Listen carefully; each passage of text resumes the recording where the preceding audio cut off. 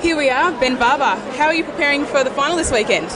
Yeah, obviously, um, coming here tonight is, is uh, good preparation. Um, no, it's uh, yeah, obviously taking it nice and easy until uh, all week, and then um, I guess uh, getting a bit more uh, anxious as we come to the Saturday Sunday.